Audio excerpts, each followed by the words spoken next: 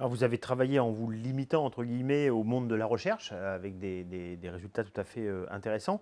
En même temps, vous vous intéressez aussi aux médias sociaux où là c'est la parole de tous.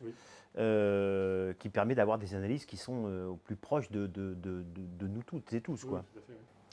Oui, alors euh, ça c'était dans le deuxième temps. J'ai mis un peu de temps à venir aux médias sociaux parce que euh, pour moi c'était euh, bah, très proche de l'individu, donc il y avait tout de suite bah, toutes les questions après éthiques qu'on peut se poser, est-ce qu'on participe à un Big Brother, etc.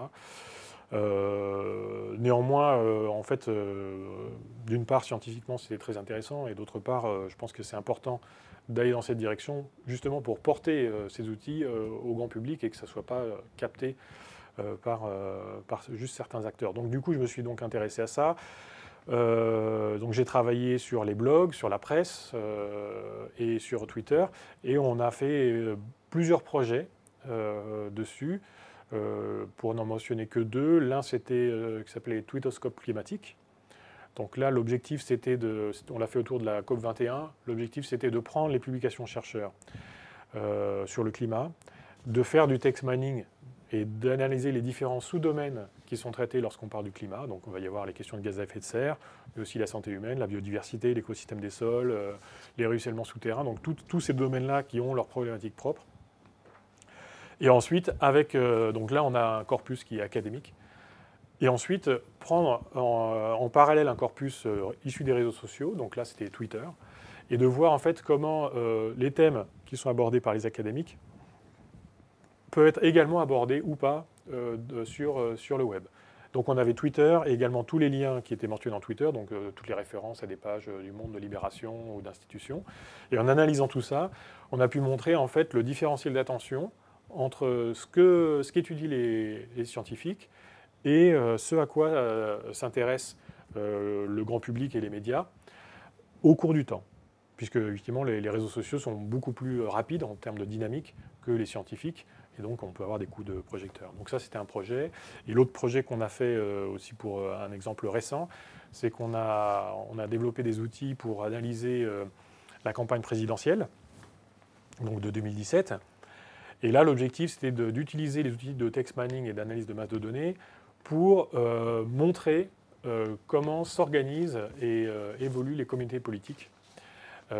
Sachant que donc, les, communautés politiques, enfin maintenant toutes les équipes de campagne, euh, s'attachent les services euh, d'entreprises qui font du big data pour mesurer l'opinion, pour savoir qu'est-ce qui est tendance, qu'est-ce qu'il faut dire, etc.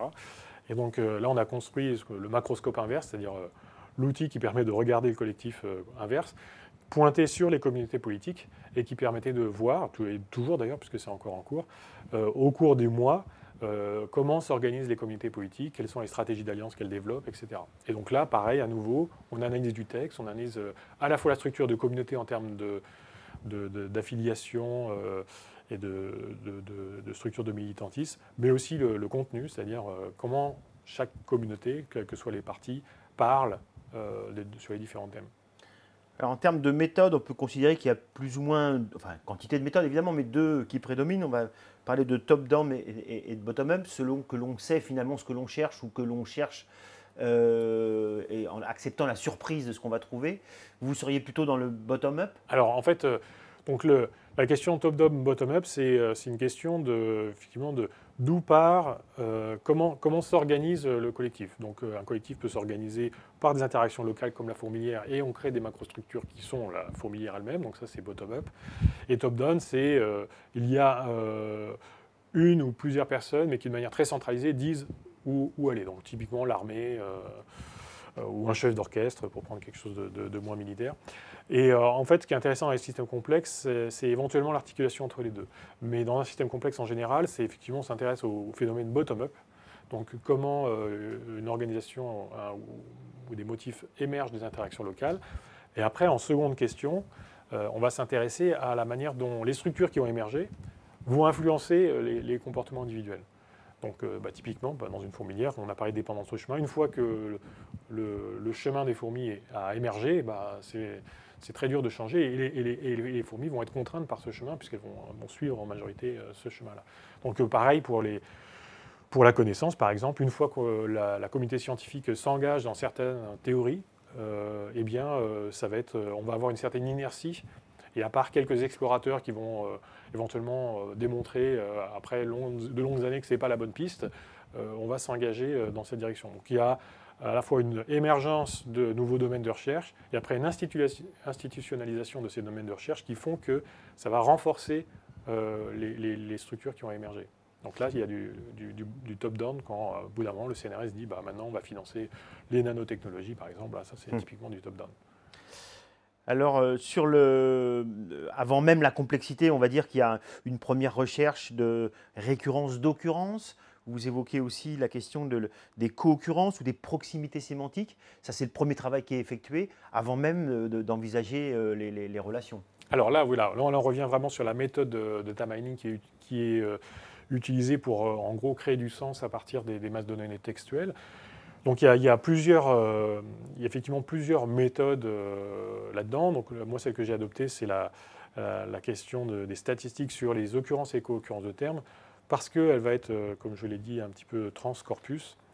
et donc là, la question, c'est de, voir, de se dire, bon, ce, à quoi on va s'intéresser, c'est la manière dont les concepts ou les idées sont mobilisés dans, un corpus, par exemple, de, 70 millions de tweets de politique, par exemple. Et donc, euh, ce que l'on va regarder, c'est euh, euh, comment tel ou tel candidat mobilise les termes immigration, écologie, biodiversité, loi travail, etc. Et aussi à, quel autre terme il va les associer. Donc, le, le, niveau zéro en fait, de la donnée, c'est l'observation de ces occurrences de termes, donc la manière dont ils reviennent dans les différents documents et l'observation de ces co-occurrences, donc la manière dont ils sont associés à d'autres termes. Mais ça, c'est vraiment le niveau zéro, c'est-à-dire que si on se cantonne à ça, on a des, on a des informations qui ne sont pas très, pas très bonnes. Et donc, euh, euh, donc après, c'est là où intervient la théorie des graphes, aussi les statistiques, euh, tout le traitement les, outils statistiques du traitement du langage et même statistiques de manière générale. à partir de ces données qui sont vraiment des données très simples, on va construire des mesures qui vont être, elles, beaucoup plus complexes. Euh, et qui vont euh, euh, transmettre une certaine information sur les relations entre différents termes. Et là, on parle de plutôt proximité, soit thématique, soit sématique. C'est en fonction de la mesure qu'on choisit. On va dire le terme biodiversité est très lié au terme réchauffement climatique, par exemple, parce que voilà, l'un influe sur l'autre, ou il y a eu beaucoup de recherches qui ont mobilisé ces deux en même temps. Donc après, à partir de ces données très simples qui sont occurrence-co-occurrence, on va chercher à développer des mesures plus complexes qui vont extraire la structure de, ces euh, détections de termes dans les corpus pour essayer de dire comment euh, les idées évoluent, les opinions évoluent, euh, etc. Après, dans un second temps, c'est ce que vous baptisez, vous appelez modélisation, notamment des dynamiques sociales. Voilà. Donc après, la, modélisation se fait à plusieurs étages, on va dire. Hein. donc on, part du, data, on part des données brutes. Le data mining permet d'extraire quelques types de données un peu plus structurées. Enfin, ne serait-ce que d'ailleurs, dans un texte, euh, trouver euh, les expressions qui sont intéressantes. Par exemple, vous avez un corpus sur le climat, savoir que c'est biodiversité, réchauffement climatique, euh, ruissellement, bassin versant, etc., qui sont les expressions importantes. déjà ça, c'est une opération qui est plutôt du traitement du langage. Et après, plus vous allez monter, plus vous, avez, vous allez intégrer ces éléments que vous, que, vous identifiez dans des structures plus complexes. Et donc, au bout d'un moment, on arrive à un niveau où euh, les, termes, puisqu'on là on, s'intéresse aux termes, vont être structurés en, sous-sujets. Donc, un sujet va être composé de plusieurs termes avec leur type de relation, etc. Et où après, on va pouvoir s'intéresser aussi à l'évolution de ces sous-sujets. Et donc là, on est dans la dynamique. Euh, et donc, on va euh, regarder euh, l'évolution des idées. On peut appliquer la même chose à, des communautés, sur le côté social. Donc, par exemple, les gens s'associent pour produire des articles, ils s'associent pour produire des idées politiques ou des programmes.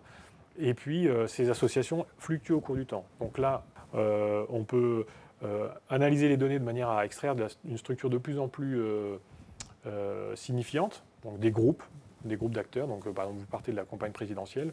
Au début, vous n'avez que des acteurs individuels qui, publient sur Twitter.